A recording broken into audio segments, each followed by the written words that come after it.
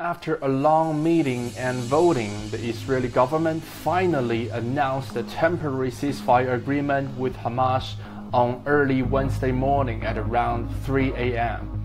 According to the agreement, Israel and Hamas will cease fire in the Gaza Strip for four days.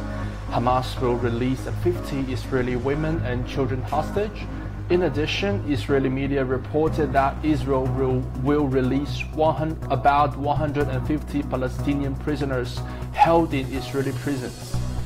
Although the Israeli government's far right parties clearly opposed the agreements, it still ultimately passed the cabinet's collective votes.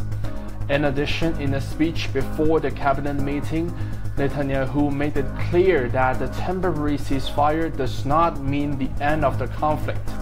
He said Israel will resume fighting after the ceasefire ends until its set objectives achieved.